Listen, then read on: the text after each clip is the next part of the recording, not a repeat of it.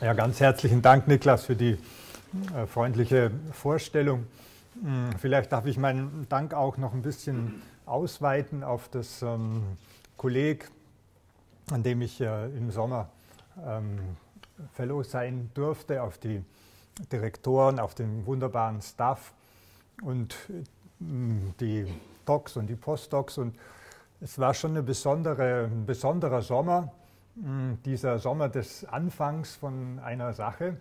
Mm, Lust des Beginnens hat Brecht mal gedichtet, also die erste Lektüregruppe, Formen, die noch nicht gefunden sind, erste Grillparty. Das ähm, war einfach ein ganz ähm, wunderbare, wunderbare Monate und ich bedanke mich nochmal ganz herzlich ähm, bei dem gesamten Team des MEX für diese äh, Möglichkeit, hier in Lüneburg sein zu können.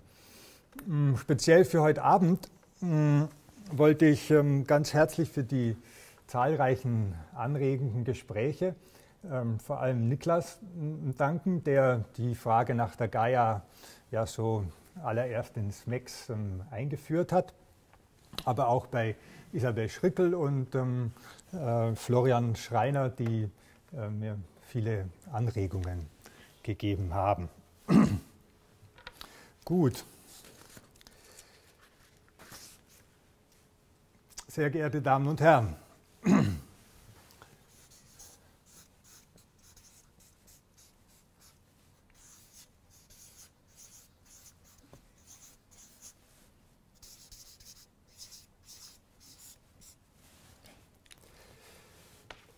Gestatten Sie mir mit einer Parole zu beginnen.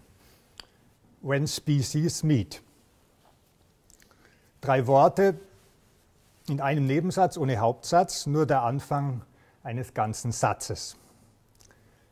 Grammatikalisch die Eröffnung einer Bühne, Meet, zusammentreffen, sich treffen, zusammenrotten oder begegnen.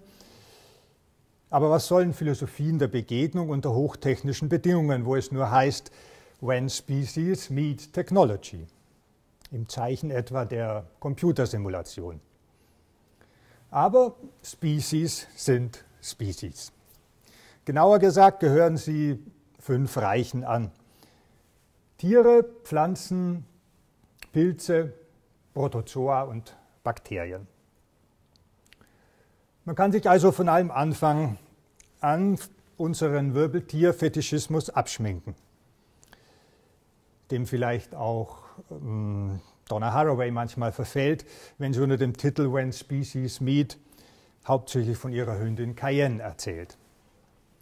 Magulis Schwarz widmen den Wirbeltieren ganze zwei von über 300 Seiten, nämlich genauer gesagt dem Salamander und dem Schwan. Aber was passiert, wenn Species meet, die Reiche weit von uns entfernt sind?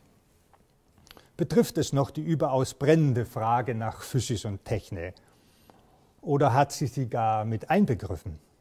Weil Technologie eben eine Weise ist, in der eine Species, nämlich die geschichtlich existierende Spezies, anderen Spezies begegnet. Ich möchte heute Abend einige allererste sehr tastende Versuche in die Rekonstruktion eines besonderen Falls von When Species Meet unternehmen. James Lovelock und Gaia. Und ich sage gleich, dass ich Bruno Latours Clifford Lectures leider noch nicht kenne. Wenn Species Meet scheint mir nämlich auch eine epistemologisch brisante Frage jeder Biologie, jeder Theorie biologischen Wissens und jeder Naturphilosophie. Die Frage also, wo findet die erste Begegnung des Wolfsforschers mit dem Wolf, des Milieuforschers mit der Kröte, Lamarcks mit der Schnecke, des Protozoologen mit dem Augentierchen, des mikrobiellen Ökologen mit dem Schwefelbakterium Becchiatoa statt? Im Fall Lovelocks ist die Begegnung mit seiner Spezies merkwürdig verschoben. Denn dieses Lebewesen soll alle nur möglichen Spezies umfassen und auf den Namen einer griechischen Göttin hören.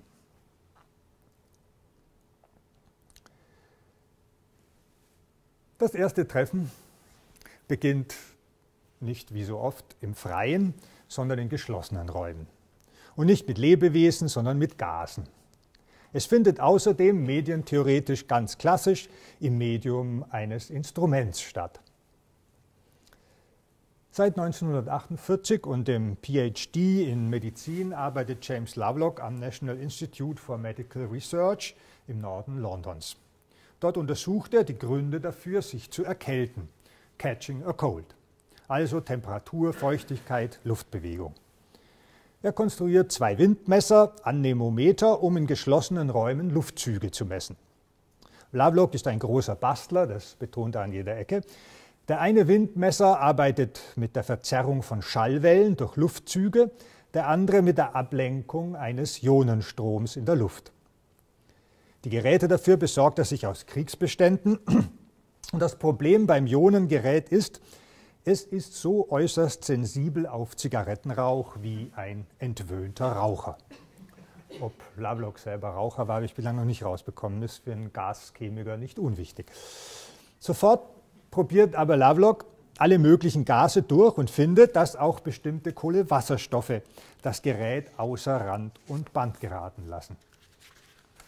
Für die medizinische Zellforschung wendet er dann den Nachteil dieser Hypersensibilität des Anemometers in einen Vorteil um. Er beginnt mit ionisierten Gasen zu arbeiten, ohne zunächst überhaupt zu verstehen, was da passiert. Im Zuge der Erforschung seines Geräts entsteht dann innerhalb von zehn Jahren der berühmte Electron Capture Detector, der Elektronenfangdetektor, den Sie, dessen Patent Sie hier sehen. Es handelt sich dabei um den Umbau eines traditionellen Gaschromatographen.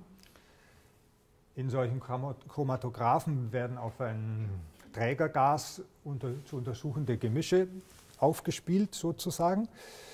Da die Stoffe unterschiedliche Geschwindigkeiten haben, kommen sie am Ende des Chromatographen zu unterschiedlichen Zeiten an. Lovelocks Elektronenfänger aber koppelt das mit einem Ionenstrom, also einem Strom von Elektronen. Verschiedene Stoffe fangen diese Elektronen in verschiedenem Ausmaß ein und so kann man jetzt die Veränderung nicht im Gasstrom, sondern im Strom der freien Elektronen messen. Und das genau ermöglicht eine unglaublich um das tausendfach erhöhte Sensibilität des Geräts gegenüber dem traditionellen Gaschromatographen. Denn es wird eben Elektrizität gemessen. Die Impacts dieses Instruments sind zum einen, dass überhaupt freie Elektronen der Biochemie äh, eine Rolle spielen. Das ist eine Erkenntnis. Denn sonst sind alle Reduktions- und Oxidationsreaktionen in der Biochemie solche, die von irgendwoher kommen müssen. Und darum kann man die Redoxpotenziale von Stoffen überhaupt auflisten und mit ihnen operieren. Der zweite Impact des Instruments, dass damit die Säuren eines zentralen Stoffwechselweges der Atmung zum ersten Mal messbar werden, des die Atmung vorbereiteten Zitratzyklus. Der dritte Impact aber ist, dass mit dem Elektronenfänger Gifte nachweisbar werden. Und zwar solche Kohlenwasserstoffe, die mit einem Halogen, Atom, Fluor oder Chlor versehen sind. Das Gerät nun ist so fein, dass, Zitat, wenn eine Weinflasche mit flüssigem Fluorkohlenwasserstoff irgendwo in Japan auf eine Decke ausgeschüttet und an der Luft getrocknet wird, das verdampfte Produkt in ein paar Wochen hier in Devonshire nachweisbar ist und in zwei Jahren überall in der Welt. Damit also beginnt im Medium des Elektronenfängers ein erstes Medium sich zu zeigen, nämlich die Gase. In diesem Medium findet hier der Austausch von Elektronen statt. Sie lassen schließlich eine globale Atmosphäre aus Gasen erscheinen. Das heißt, in Lovelocks Worten, ein Fluid-Medium als Transfer-Medium. Also Atmosphäre als ein sehr bewegliches Medium, in dem alles sehr schnell geht, anders als in der Erde etwa oder im Wasser weil sie so beweglich oder flüssig ist. Darum ist die Atmosphäre ein Medium.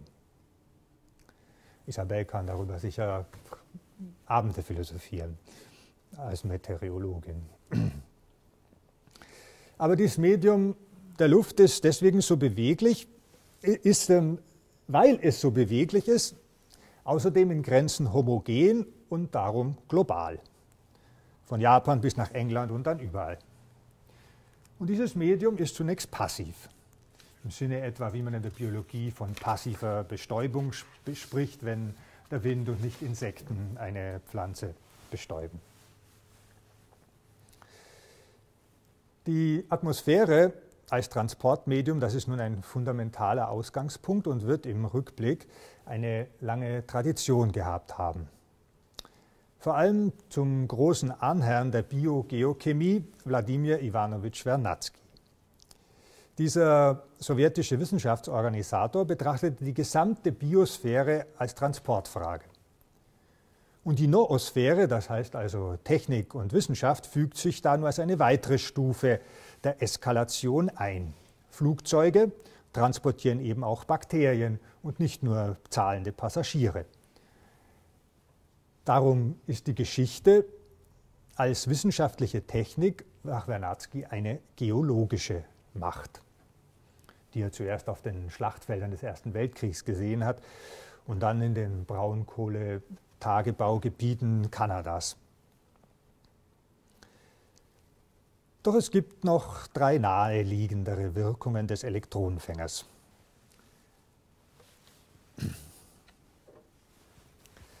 Erstens nämlich ermöglicht der Elektronenfänger ein berühmtes Buch.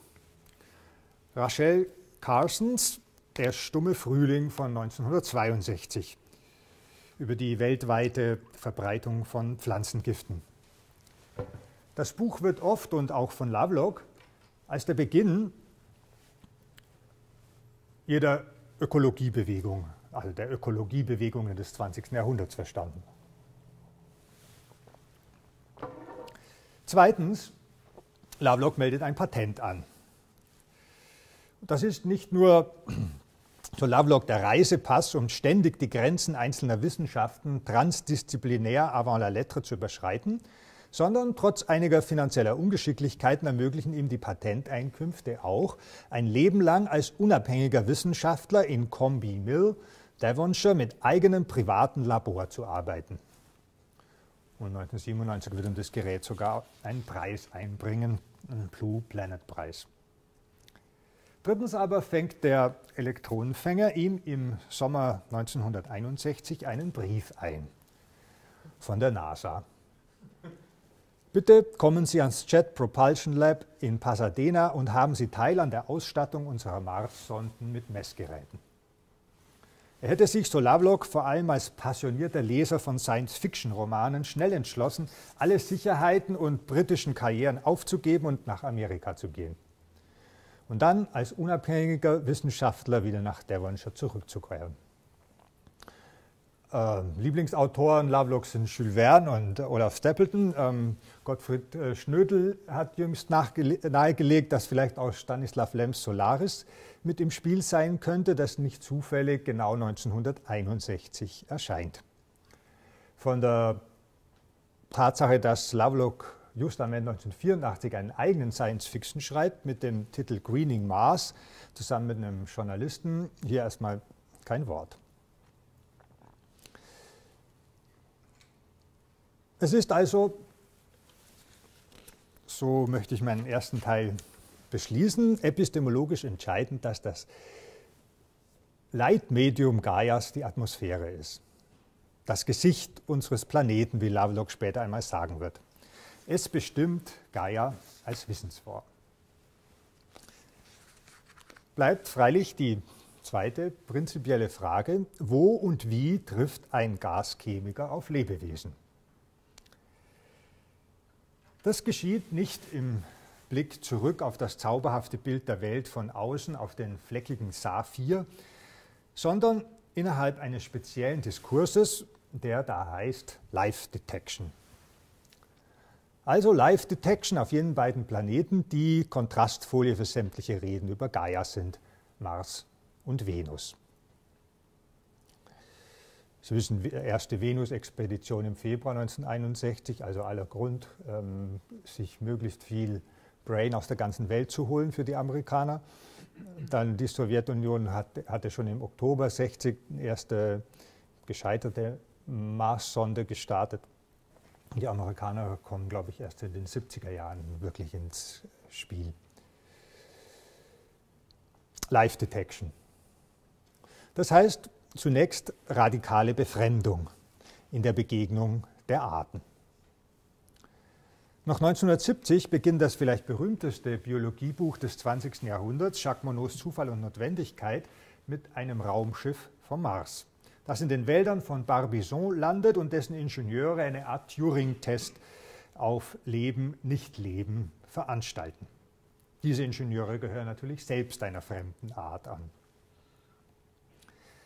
Lovelocks erstes Gaia-Buch aber rückt 20 Jahre später die Befremdung als solche einmal ins plötzliche Gegenteil, in eine sozusagen terrestrische Übernähe.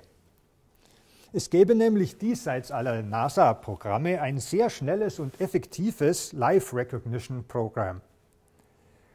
Aus Überlebensgründen hätten sowohl wir als auch unsere Fellow Creatures in, den, in, in the Animal World die instinktive Fähigkeit zu erkennen, was essbar, todbringend, freundlich, angriffslustig möglicher Partner ist. Und was nicht. Warum, fragt sich Lovelock, vergessen wir das, sobald wir im Rahmen von Life Detection bewusst über die Definition des Lebens nachdenken? Das kommt daher, weil es 1961 nicht um die Lebewesen geht und ihr sich erkennen, sondern um ein Singular, Life. Und darüber gibt es seit Schrödingers What is Life einen physikalischen Diskurs, der in der NASA heimischer ist als Verhaltensbiologie. Es gäbe, so Lovelock in einer Arbeit, die unmittelbar vor dem legendären Nachmittag im September 1965 in Pasadena erscheint, jenem Nachmittag, als Gaia über ihn kam, just like a flash of enlightenment. Es gäbe also auf Schrödingers Frage zwei prinzipiell mögliche Antworten. Erstens phänomenologische Antworten. Wenn ein System aus Wasserstoff, Stickstoff, Kohlendioxid unter Einfluss von Sonnenlicht Aminosäuren herstellt, dann kann dieses System nicht anorganisch sein. Es ist auch schwer, zum Beispiel die Bewegung eines Lachses, der stromaufwärts schwimmt, physikalisch als anorganischen Zufallsprozess zu begreifen. Derart sind die phänomenologischen Antworten. Zweitens aber gibt es physikalische, etwa die. Leben ist Teil einer Klasse von Phänomenen, die offene oder kontinuierliche Reaktionssysteme sind, fähig, ihre Entropie zu senken, auf Kosten von Substanzen oder von Energie, die sie aus ihrer Umgebung entnehmen und dann abgebaut in degraded Form wieder ausstoßen. Nur das tun eben auch Strudel und Wirbel in Gasen und Wasser. Allerdings sind die sehr flüchtig und Leben ist persistent. Es hat gegen Prigoschins dissipative Strukturen gesprochen, seinen Anhalt in den festen Teilen der Umgebung, the solids of the environment. So wie die Luft erst zwischen den festen Wänden einer Flöte zum Schwingen kommt. Lovelock bringt da die DNA als ähm, Fixpunkt ins Spiel.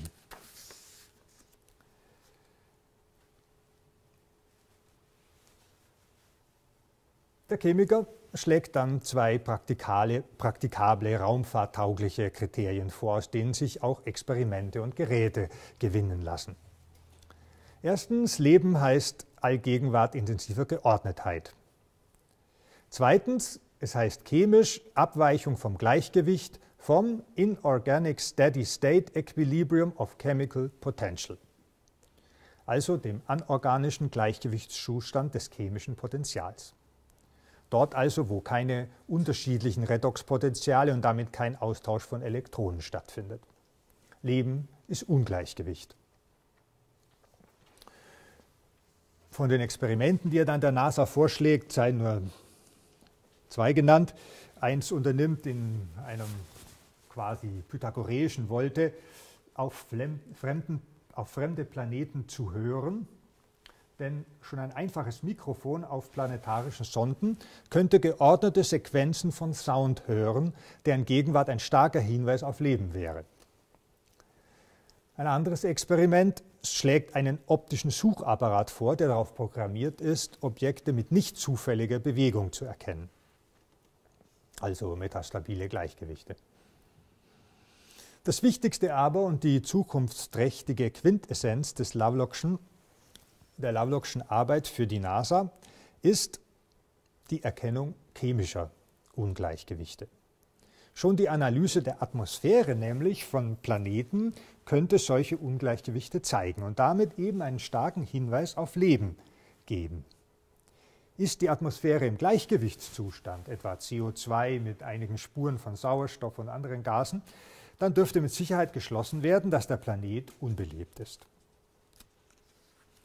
Das ist nun ein realer und andauernder Schock für die Weltraumforschung, die Millionen von Dollar, ausgibt für Sonden, die auf anderen Planeten Bodenproben holen sollen.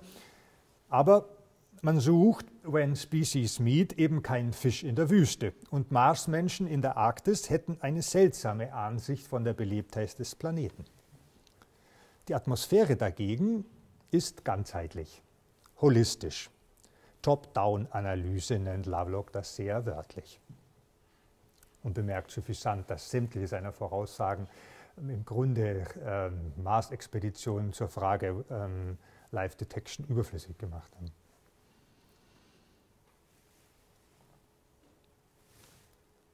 Bleibt die Frage, welche chemischen Ungleichgewichte? Wie sind sie definiert.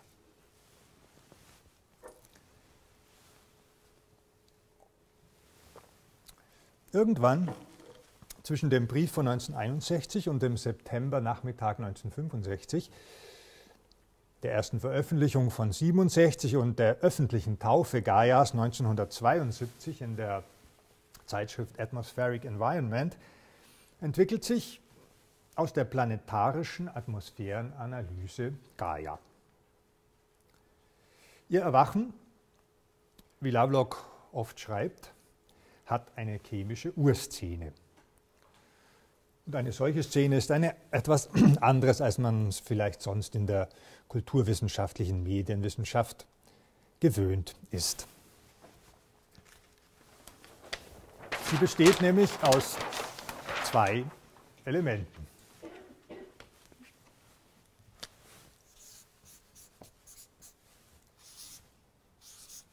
Und wenn Sie bei O2 O2 hören, haben Sie ganz recht.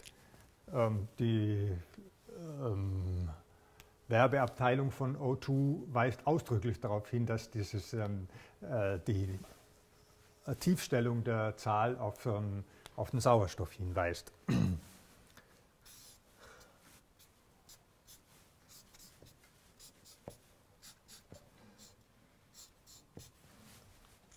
Kohlenstoff deswegen so hm, beliebt, sage ich jetzt mal, weil er vier ähm, äh, äh, Valenzelektronen hat und sich auf diese Weise eben perfekt mit sich selbst verbindet äh, und die berühmten ähm, Ketten bildet.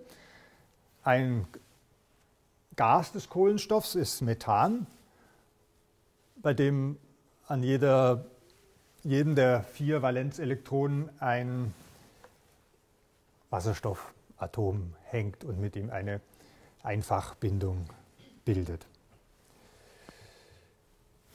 Diese beiden Gase, O2, Sauerstoff und Methan, when gases meet, verweilen nicht lang zusammen in der Atmosphäre.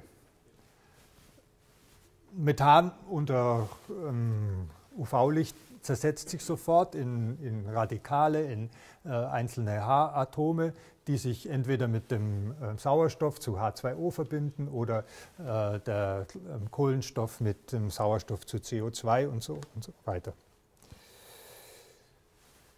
Nun gibt es aber trotz dieser Reaktionsfreudigkeit dieser zwei Gase 10 hoch 35 mal mehr Methan in der aktuellen Atmosphäre als nach dieser Reaktionsgleichung die Erde haben müsste.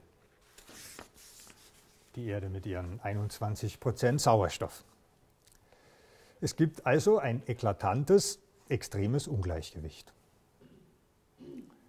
Zweitens die Folgerung daraus, es muss also eine aktive Quelle geben, die ständig Methan nachliefert.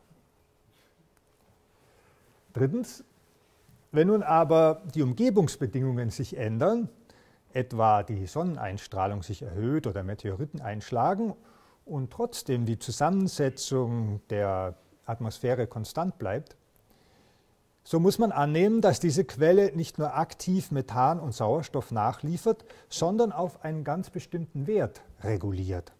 Einen ganz bestimmten Wert des Ungleichgewichts.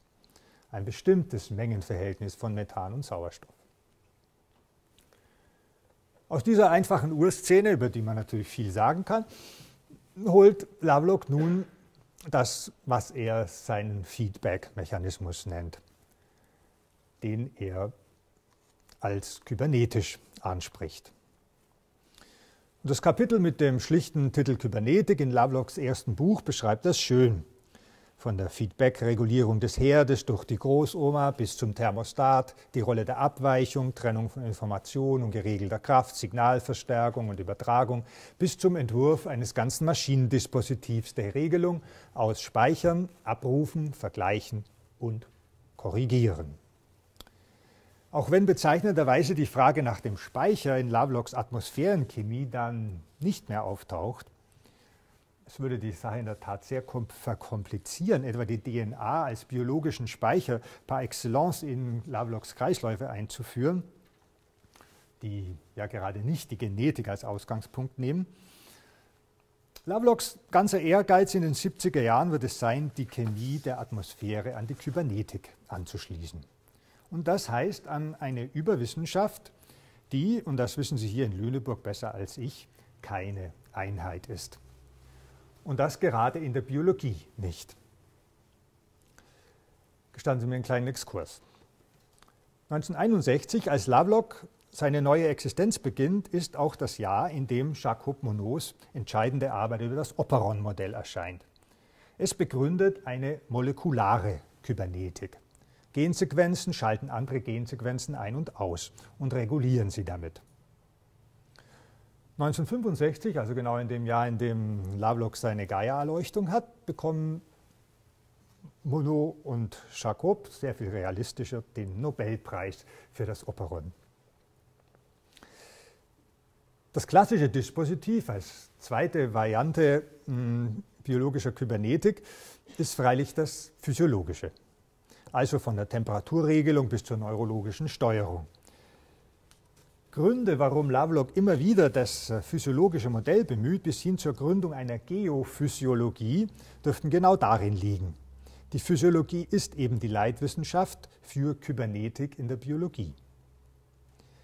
Und das heißt, neben oder gegen die molekulare und die physiologische Kybernetik versucht Lovelock, eine andere, eine dritte Kybernetik in die Biologie einzuführen. Und sie braucht darum schon aus propagandistischen Gründen einen Namen und heißt drum Gaia. Aus der von ihm gesuchten, gewünschten, äh, visionierten Presence of a Control System in der Atmosphäre, in der Biosphäre, holt Lovelock auch jenen Zug zur Subjektivierung Gaias. Weil sie eben ein aktives Kontrollsystem ist, handelt Gaia. Und das mündet 1979 zunächst nicht in einer Göttin, sondern in einer Ballerina. Von, so schreibt er, von einem ordnungsgemäß funktionierenden Steuersystem geht eine besondere Anziehungskraft aus also etwa von der scheinbar mühelosen Muskelbeherrschung der Tänzerin. Diese Subjektivierungstendenz kulminiert aber dann am Ende des ersten Gaia-Buchs in einer Art kybernetischer Subjekt-Fata Morgana, in einem Spiegelstadium von Lacanischer Ironie. Ich zitiere, noch wichtiger ist, dass die Entwicklung des Homo sapiens mit seinem technischen Erfindungsreichtum und seinem unglaublich komplizierten Kommunikationsnetzwerk Gaias Wahrnehmungsbereich unglaublich vergrößert hat. Durch uns ist sie erwacht, uns sich ihrer selbst bewusst geworden. Sie hat den Widerschein ihres schönen Gesichts durch die Augen der Astronauten und der Fernsehkameras in den kreisenden Raumschiffen erblickt. Sie muss unser Erstaunen und Vergnügen, unsere Fähigkeit zu denken und zu spekulieren und unsere rastlose Neugier mit uns teilen. Das heißt, die Wissenschaft von Gaia ist selbst Teil von ihr, als ihr Spiegel. Und auch die Simulationen Gaias wie, Daisy World, ich komme gleich drauf, sind Teil von ihr als Spiegel. Und am Ende würde sich hier eine lange Tradition spekulärer Weltverhältnisse auftun, wie sie zum Beispiel in der Mystik möglich ist. Meine epistemologische oder medientheoretische Frage aber wäre anders, nämlich die, ob die Fata Morgana kybernetischer Subjektivität nicht eine andere Grundlage hat, nämlich die Subjektivität der Einzeller. Die kybernetische und die Einzellersubjektivität, das ist es, was schließlich in Lovelocks Computersimulationen eingehen wird. Zunächst muss ich Ihnen aber noch eine kleine Vermutung mitteilen.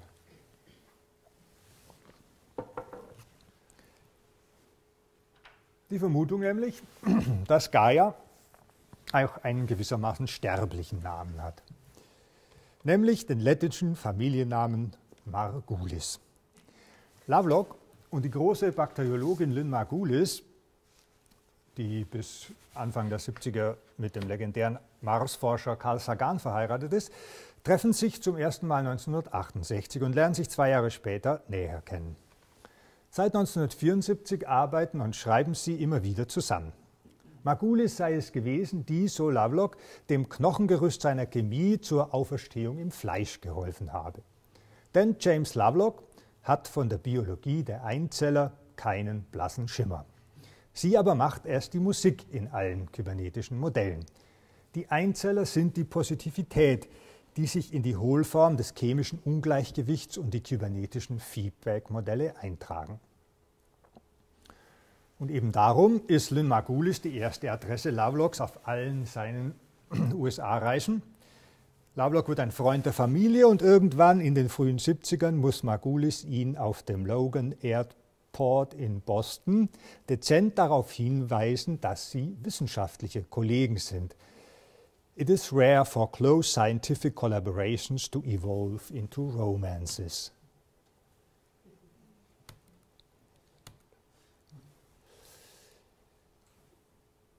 Die zwei Persönlichkeiten sollte man nicht zu schnell vermischen. Also Margulis, vier Kinder aus zwei Ehen, ähm, riesiges Institut, unterrichtet, empfängt Gäste, ähm, oft begeistert mit neuesten Entdeckungen, etwa, dass sie eine Schlange gefunden hat, die äh, Photosynthese treibt. Kurzum, um, Lovelock, Lynn and I were strange opposites to be so closely connected by Gaia. Lynn was at her best in the center of a group of good students, giving and taking. I was at my best alone and thinking. Und das ähm, reicht, glaube ich, tief in die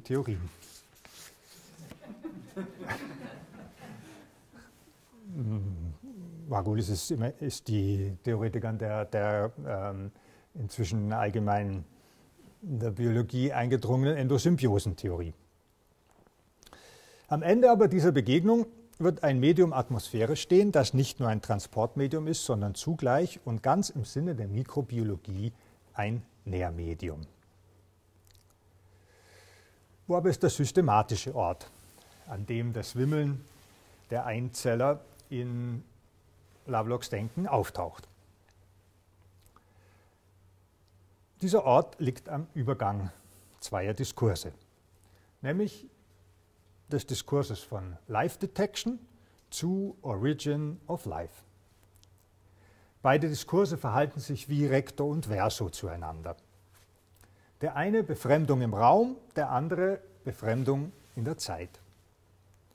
In Zeiten also von vor 2500 Millionen Jahren vor unserer Zeit, dem Phanerozoikum und vor dem Proterozoikum. Also die, das Nachdenken über die Einzeller beginnt nicht von ungefähr in Zeiten vor den Vielzellern, dem Archaikum. Stellt sich die erste Frage, wie wissen wir vom Archaikum, also Zeiten von vor 2500 Millionen Jahren? Die schlichte Antwort, Signale von anderen Sternen, etwa ihr Licht, unterliegen dem Gesetz der Entropie. Rauschen schwächt sie auf ihren Weg durch den Weltraum ab. Das wissen wir Solarblock aus der Informationstheorie. Dagegen bleiben die Signale aus der Vorzeit gleich stark. Photosynthetische Bakterien, die vor 3500 Millionen Jahren entstanden, reproduzieren sich auf annähernd gleiche Weise noch heute. Da haben wir ein Rekto, das also die Entropie ähm, sowohl bei, der, bei dem Blick auf fremde Planeten als auch bei dem Blick in, ins Archaikum äh, eine spezielle Rolle spielt. Erst in der Beschreibung des Archaikums werden also die Einzeller sichtbar. Beginn des Beginns sind Bedingungen, also etwa Stoffe, die da sind, aber noch lange nicht Origin of Life ausmachen. Temperaturen zwischen 0 und 50 Grad. Die Sonne 25 Prozent kälter als heute. Also kombiniert man der CO2-Gehalt der Archaikumsatmosphäre muss höher gewesen sein. Denn wo zwei oder mehr Atome zum Molekül sich vereinigen, haben sie die Eigenschaft, Infrarotstrahlen, also Wärme, zu absorbieren. Und damit wirkt CO2 als Decke, heute bekannt als Treibhauseffekt, der ganz im Unterschied zu unserer heutigen Lage im Archaikum überhaupt die Bedingung war, dass sich ähm, Leben, Lebewesen bilden konnten. Hauptbedingung aber ist eine reduzierende Atmosphäre, in der vor allem Wasserstoff sich befindet. Wasserstoff überwiegt. Aller Sauerstoff, etwa der aus ähm, CO2 durch Bindung des Kohlenstoffs frei wird, verbindet sich sofort mit den Wasserstoffatomen. Und darum gibt es kaum freien Sauerstoff in der Atmosphäre. Und diese Hypothese ist keineswegs in den Anfang der 70er Jahren allgemein so nimmt etwa die ganze Reflexion über das Ozon, also O3, an. O3, Ozon als Schutz gegen die ultraviolette Strahlung und Ermöglichung ähm, äh, von Lebensbedingungen nimmt an, dass es in der archaischen Atmos äh, Atmosphäre ebenso viel Sauerstoff gegeben hat, dass sich drei Sauerstoffmoleküle finden können. Was dann aber die ganze Entwicklung in Gang setzt, ist ein Engpass an Wasserstoff. Der Wasserstoff wird überall gebunden, er verlässt außerdem die Atmosphäre, die Erdanziehung ist zu schwach und so entsteht die erste Krise. Es gibt nicht mehr genügend Wasserstoff, freien Wasserstoff, sondern aber ähm, mehr als im Überfluss gebundenen Wasserstoff, nämlich gebunden als Wasser, H2O und H2S. Und an genau diesem Punkt, ich erzähle jetzt quasi in Slapstick-Form die, die ähm, frühe Erdgeschichte, kommt Evolution ins Spiel. Es entwickelt sich im freien horizontalen Austausch der Gene, Horizontal Gene Transfer, Bakterien, die die Energie des Sonnenlichts ausnützen und Wassermoleküle knacken. Die Cyanobakterien sind die erste Species, die das realisieren, was man die Grundgleichung des Lebens genannt hat.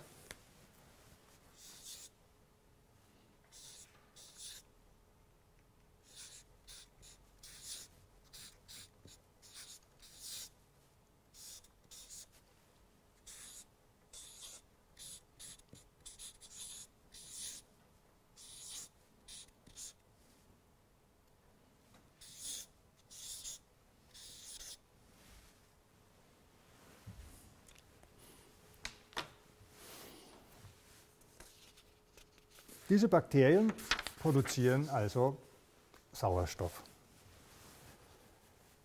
Und sie verbrauchen jenes CO2, das die Temperatur der Biosphäre aufrechterhält. Effekt, die Erde kühlt sich ab. Nur das CO2 der Vulkane reicht nicht aus. Leben wird zu einer lokalen, ephemeren Erscheinung.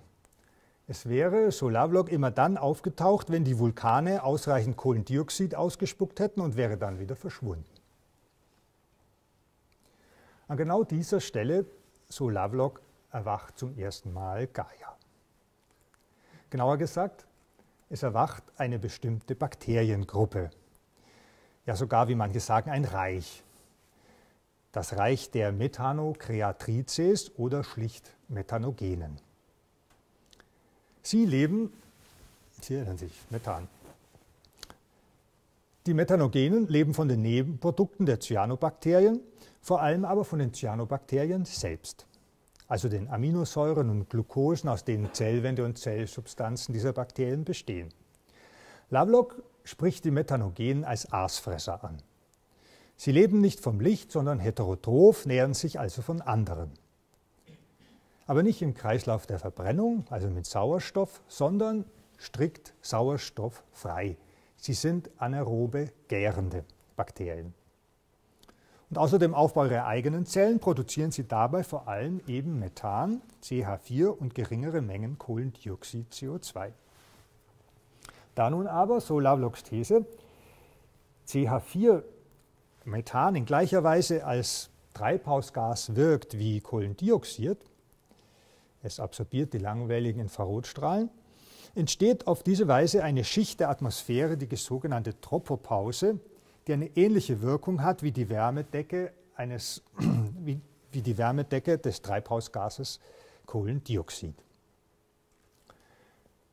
Mit methanogenen, Methan produzierenden Bakterien und Cyanobakterien, die Sauerstoff produzieren,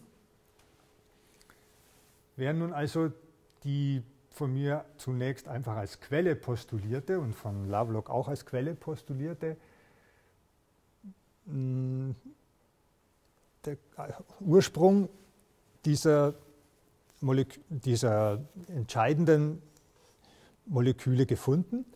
Lovelock behauptet, es hätte im Archaikum ein vollständiges planetares System gegeben. Und dieses planetare System besteht eben aus diesen zwei ähm, Bakterien zwei Agenten und ihrem Zusammenspiel, ihren Syntrophien, ihren Co-Cultures, Shared Metabolisms oder Cross-Feedings.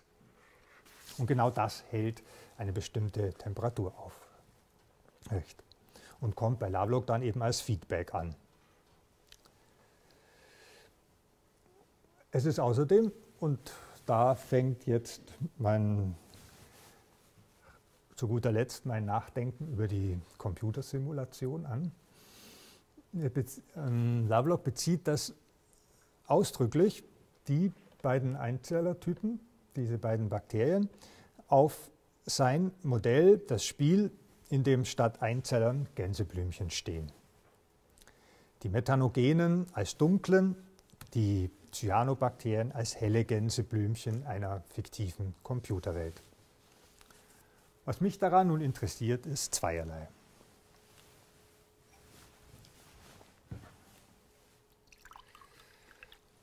Noch eine Viertelstunde?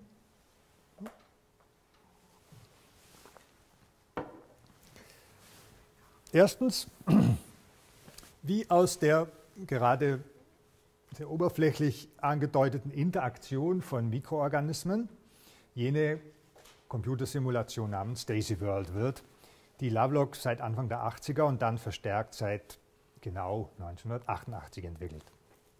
Lovelock, der Bastler, ist begeisterter Prophet des PC-Zeitalters. Er kauft für teures Geld von der Firma Hewlett Packard, die auch den Elektronenempfänger vermarktet, einen der ersten PCs und lernt dessen Programmiersprache, den Algol-Dialekt HPL.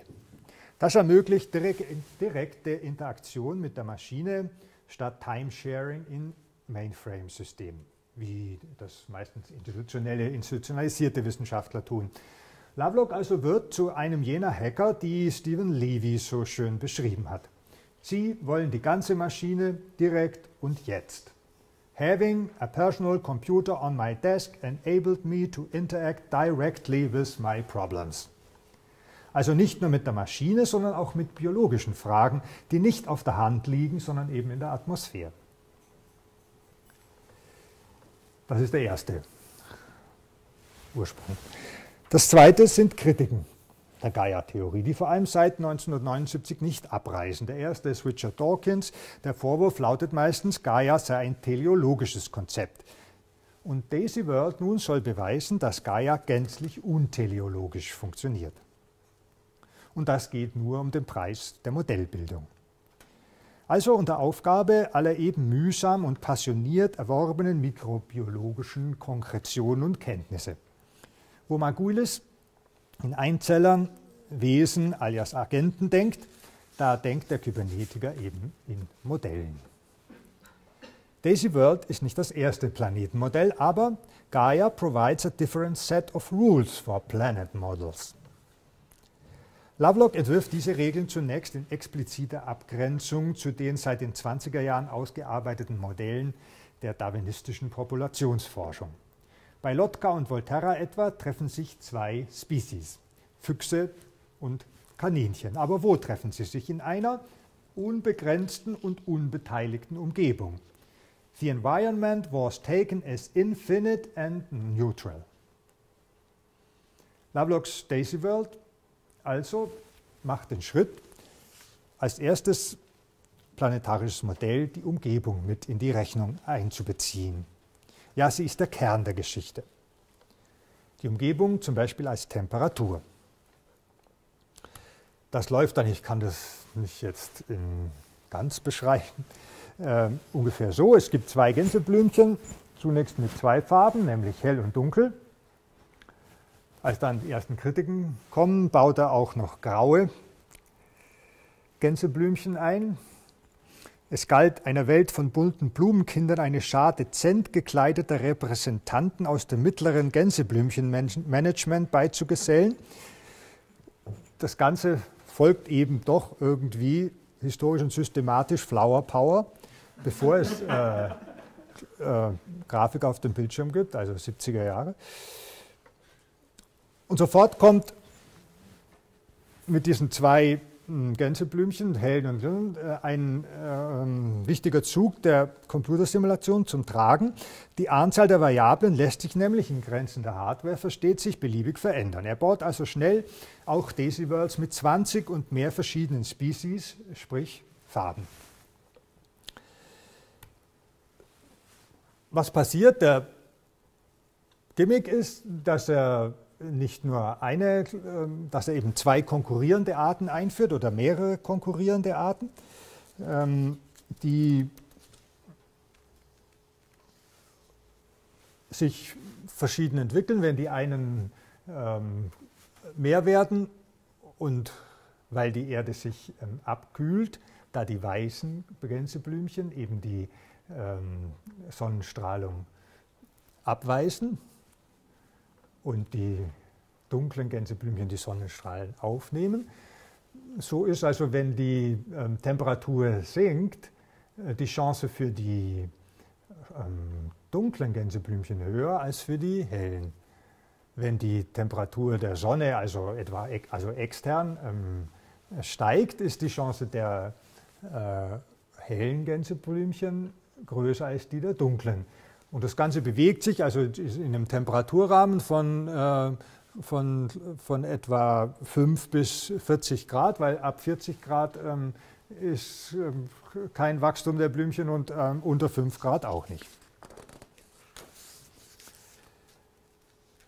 Das Wichtige ist, dass die einzelnen Species von Gänseblümchen ihre eigene Umgebung, sprich ihre Temperatur regulieren und sie als solche dann auch verschieden verhalten.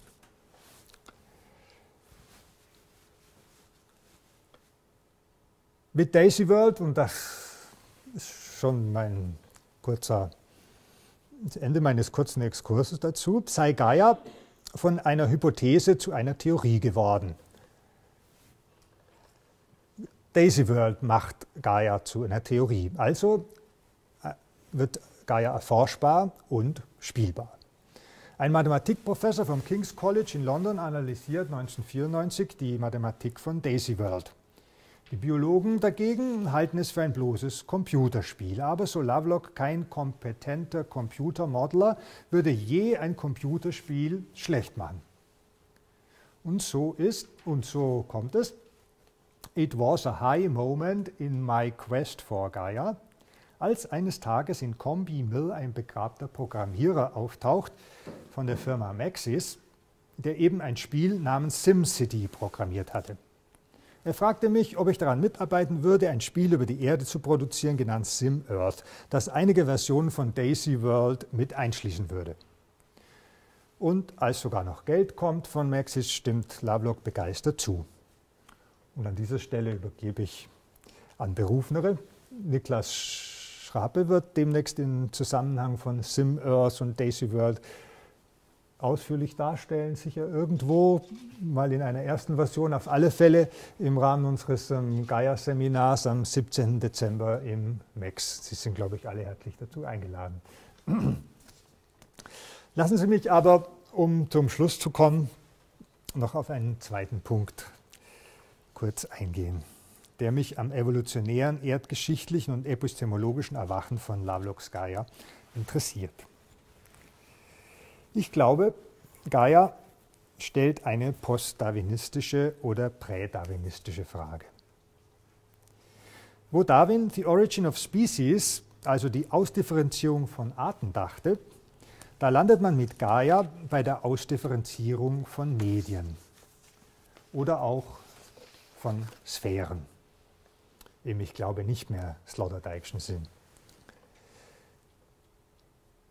Die Ontologie dieser Sphären oder Medien läuft über das Zusammentreffen von Arten. Und könnte es je wirklich nicht biologische Arten geben. Sie läuft also durch Lebewesen und durch alle Reiche hindurch. Durch Tiere, Pflanzen, Pilze, Protozoa und Bakterien. Wenn also in Lovelocks Konstruktion Gaia in dem Moment erscheint, in dem die Cyanobakterien zuerst Sauerstoff in die Luft entlassen, bis dieser Sauerstoff sich schließlich durchsetzt, also jene totale, heftigste Krise auslöst, in der die Lebewesen des Archaikums allesamt verbrennen,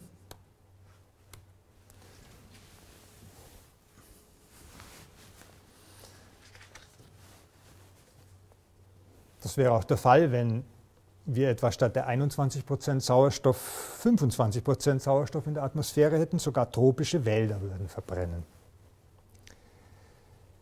Eine Krise also, die dank der anaeroben Methanbakterien zuerst reguliert wird und dann zu jener kolossalen Intensivierung aller Stoffwechselprozesse führt, die wir atmenden Wesen Atmung nennen.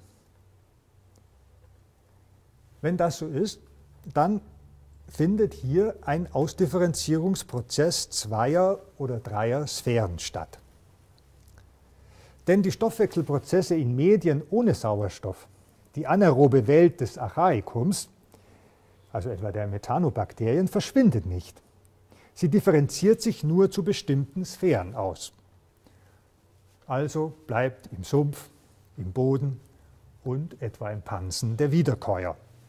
Soil, Sludge, Rumen als ähm, mikrobiologische Sphären.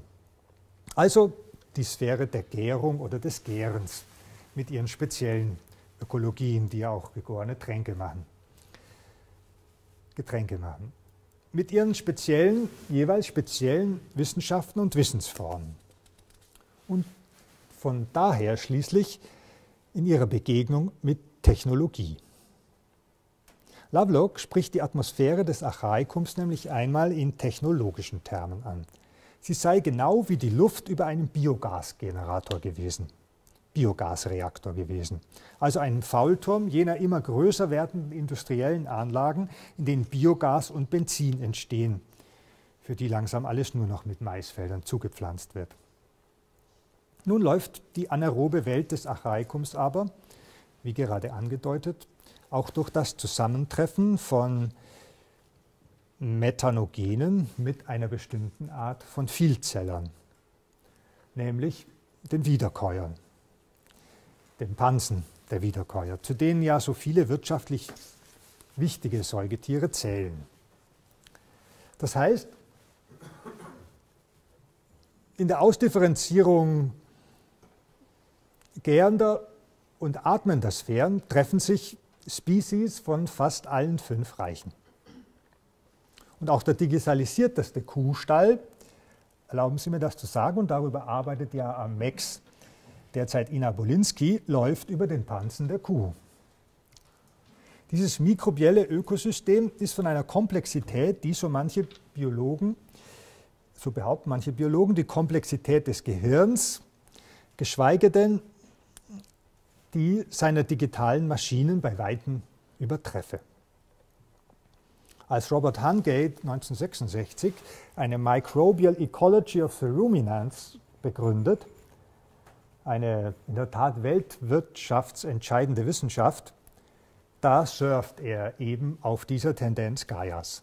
Durch Konsortien, Crossfeedings, Interspecies Relations, Food Webs von Bakterien und Vielzellern, von Pflanzen und Bakterien, von Bakterien und Protozoa, Medien auszudifferenzieren.